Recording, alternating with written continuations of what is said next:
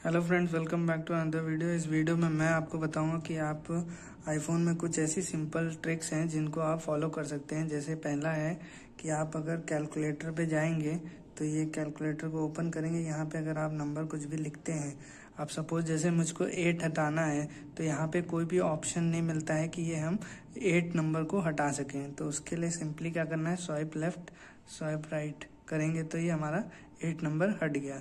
ये बहुत ही simple trick है, लेकिन आपको नहीं मालूम होगा, इसलिए मैंने बता दिया। उसके बाद नेक्स्ट नेक्स्ट ट्रिक है कि आप जो है यहाँ पे फ़ोटोज़ में जा सकते हैं, जैसे आप फ़ोटोज़ में जाएँगे।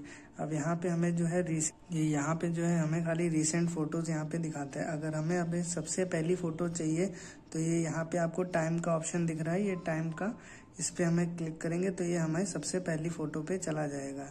ये था शॉर्ट ट्रिक उसके बाद उसके बाद दूसरी ट्रिक ये है कि आप अगर जैसे कोई भी एल्बम है, उसकी ये मेन फ़ोटो जो है उसको चेंज करना चाहते हैं। जैसे ये है तो अगर आप इसकी फ़ोटो को चेंज करना चाहते हैं तो आप इस पर जाएँगे। तो जैसे ये फ़ोटो लगानी है हमें मेन एल्बम पे तो इस पर क्लिक करेंगे। यहाँ पे ऑप्शन आता है मेक की फ़ोटोज़ तो इसको ऐसे, ओके कर देंगे तो यहाँ बैक जाएँगे। तो आपको ये यहाँ पे एल्बम में डायरेक्ट यहाँ पे लग जाएगी। ये दूसरी ट्रिक थी। यही शॉर्ट ट्रिक्स मैंने आपको बताई हैं सिंपल सी।